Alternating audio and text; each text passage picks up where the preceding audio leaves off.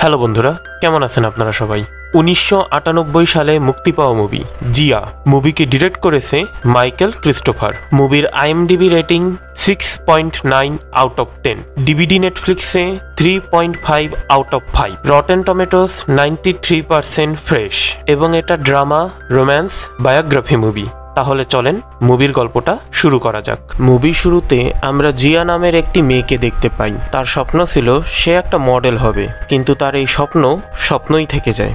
আমরা জিয়ার ফ্যামিলি মেম্বারদেরকে দেখতে পাই। ফ্যামিলি মেম্বারের মধ্যে শুধুমাত্র দুইজন আছে, মা আর বাবা। কিন্তু তাদের মধ্যে সম্পর্ক অতটা ভালো নয় সেই সাথে তারা একে অপরের সাথে মাঝে মধ্যে ঝগড়া করে। জিয়া এসব দেখে খুব রেগে যায় এবং খুব ইমোশনাল হয়ে পড়ে। একদিন জিয়ার বাবা তাকে এবং তার মাকে বাড়িতে রেখে সারা জীবনের জন্য চলে যায়। এইসব ঘটনার পরে জিয়া একটা শপে পার্ট টাইম জব করে। কিন্তু জিয়ার একটা অহংকার ছিল। কারণ সে মনে করে যে সে বাকি মেয়েদের তুলনায় অনেকটা সুন্দর এবং তার সৌন্দর্য দেখে অনেক ছেলেরা তার প্রেমে পড়ে যায়। পরে দেখা যায় জিয়া এবং তার বয়ফ্রেন্ডকে তারা একটা জায়গায় এসেছিল। সেই জায়গাটা আসলে একটা এজেন্সি ছিল। সেই জায়গায় জিয়ার মডেলিংয়ের ফটোশ্যুট হয়। সেই সাথে ছবি তোলার সময় সে একটা কথা বলে যে সৌন্দর্যই সবকিছু। সৌন্দর্যের কারণে অনেক ছেলেরা মেয়েদের প্রেমে পড়ে যায়। জিয়ার আসলে চিন্তা ছিল সে কখনো মডেল হতে পারবে কিনা এবং সে মনে করে তার মডেল হওয়ার স্বপ্নটা কি স্বপ্নই থেকে যাবে? পরে আমরা জিয়ার বয়ফ্রেন্ডকে দেখতে পাই। জিয়ার বয়ফ্রেন্ড জিয়াকে বলে, তুমি যদি মডেল হতে চাও তাহলে হও, কিন্তু তুমি নিউ ইয়র্কে কেন যাবা? পরে আমরা একটি কথা জানতে পারি। কথাটা হচ্ছে, জিয়া আসলে ডেলফিয়াতে থাকে। কিন্তু জিয়া নিউ ইয়র্কে যেতে চায়, মডেল হওয়ার জন্য। কিন্তু তার বয়ফ্রেন্ড তাকে যেতে দিতে চায় না। জিয়া তার বয়ফ্রেন্ডকে অনেক বোঝানোর চেষ্টা করে, কিন্তু তার বয়ফ্রেন্ড রাজি নয়। জিয়া তাকে রাজি করানোর জন্য তাকে কিস করে এবং তার সাথে শারীরিক সম্পর্ক করে। পরে দেখা যায় জিয়ার বয়ফ্রেন্ড রাজি হয়ে যায় এবং তাকে বলে যে, তোমার মডেল হওয়ার জন্য আমি তোমার সাহায্য করব, তুমি চিন্তা করো না।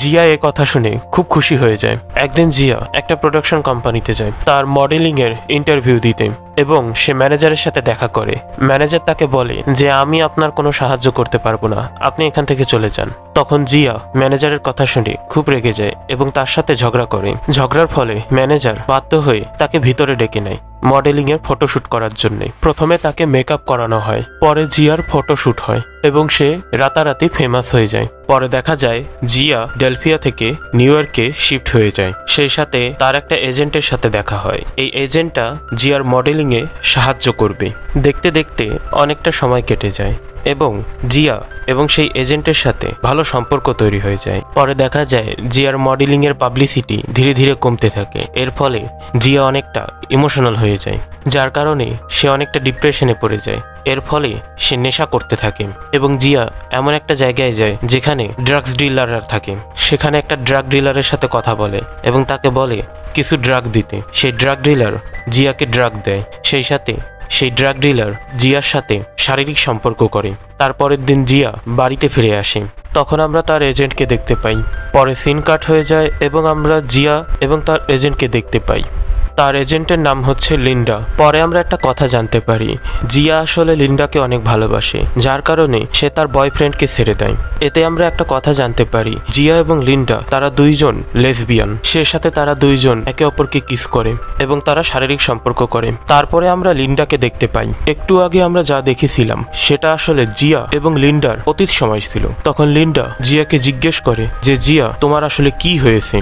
জিয়া লিন্ডাকে সব কথা বলে দেয়। লিন্ডা এসব কথা শুনে জিয়াকে ঘরের ভেতরে নিয়ে যায়। সেদিন রাত্রেবেলায় জিয়া এবং লিন্ডা, তারা দুইজন ক্যান্ডেল লাইট ডিনার পার্টি করে। সে থেকে আমরা বুঝতে পারি লিন্ডা এবং জিয়া তাদের ভালোবাসা অনেকটা গভীর হতে যাচ্ছে। কিন্তু জিয়া অতিরিক্ত মাত্রায় ড্রাগস এবং নেশা করতে থাকে। তারপরের দিন জিয়া আরেকটা প্রোডাকশন হাউসে যায়। তার মডেলিং এর ইন্টারভিউ দিতে। সেই সাথে আমরা প্রোডাকশন হাউস কোম্পানির মালিককে দেখতে পাই। মালিক তার ইন্টারভিউ নেয় এবং সে বলে, জিয়া, যে তুমি মডেল হতে পারবে। জিয়া এ কথা শুনে খুব খুশি হয়ে যায় এবং সেই মালিককে বলে, যে সত্যি, আমি কি মডেল হতে পারব? তখন মালিক বলে, যে হ্যাঁ তুমি হতে পারবে। কিন্তু আমার একটা শর্ত আছে। শর্তটা হচ্ছে, তোমাকে এসব বন্ধ করতে হবে। আমি একটা কথা জানতে পারছি। কথাটা হচ্ছে, তুমি নেশা করো, সে সাথে তুমি ড্রাগস নাও। তোমাকে এসব বন্ধ করতে হবে। তাইলেই তুমি মডেল হতে পারবে।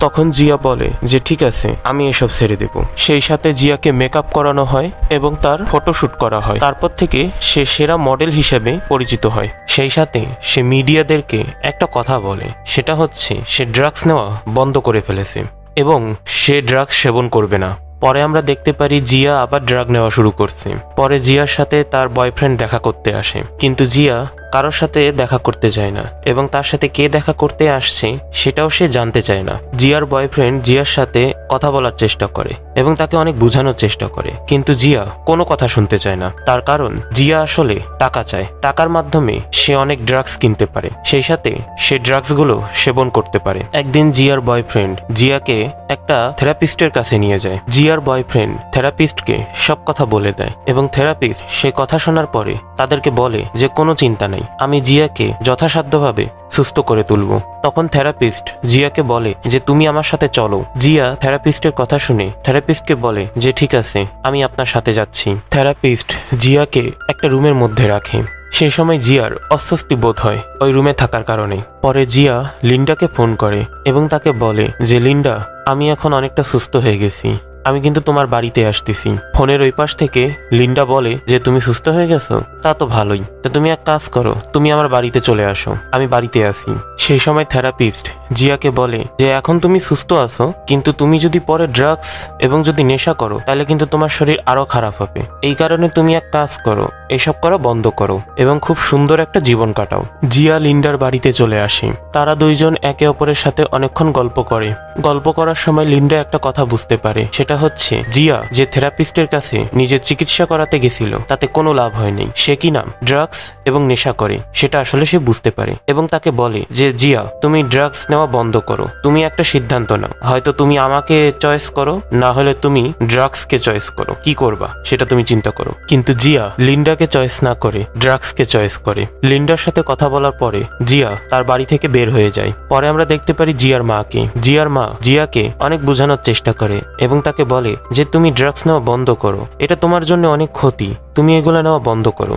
জিয়া, তার মায়ের কথা শুনে তার মাকে বলে যে, ঠিক আছে, আমি এগুলো নেওয়া বন্ধ করব। কিন্তু আসলে সে তার মাকে মিথ্যা কথা বলে। সে আসলে এগুলো নেওয়া বন্ধ করবে না। পরে দেখা যায়, ড্রাগসের কারণে জিয়ার জীবনটা ধীরে ধীরে শেষ হয়ে যায় এবং জিয়াকে একটা ড্রাগ ডিলারের সাথে দেখা করতে দেখি। জিয়া সেই ড্রাগ ডিলারকে বলে যে, আপনি কি আমাকে কিছু ড্রাগস দিতে পারবেন? কিন্তু আমি আপনাকে টাকা দিতে পারব না। আপনি কি আমাকে ফ্রিতে ড্রাগস দেবেন? সেই সাথে আপনি যা বলবেন, আমি তাই করব। কিন্তু আমার ড্রাগস চাই। ড্রাগ ডিলার বলে যে, ঠিক আছে, আমি তোমাকে ফ্রিতে ড্রাগস দেব, কিন্তু আমার একটা ইচ্ছা আছে। তুমি কি সেই ইচ্ছা পূরণ করবে? তখন জিয়া বলে যে হ্যাঁ আপনার যা ইচ্ছা আছে, আমি সেগুলো পূরণ করব, কিন্তু আমাকে ফ্রিতে ড্রাগস দিতে হবে।